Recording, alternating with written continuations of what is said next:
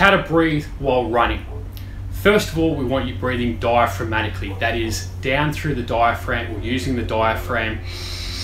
Think about the ribs expanding, the belly expanding a little bit and breathing a full 360 degrees around the torso there. So to practice that, get your hands like so, place them on your lower ribs here. Take a breath in through the nose.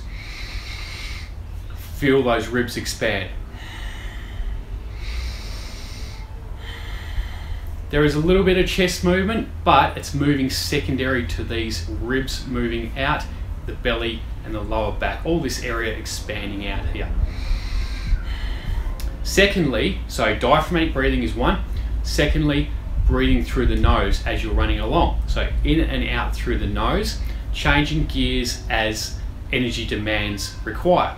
So the faster you need to run, the higher intensity of that run, or if you start going up a hill, which obviously increases the intensity as well, or you're getting a sprint on, increasing the intensity, you will change gears. You might go to a nasal inhale, mouth exhale, and then when it's really high intensity, mouth inhale, mouth exhale.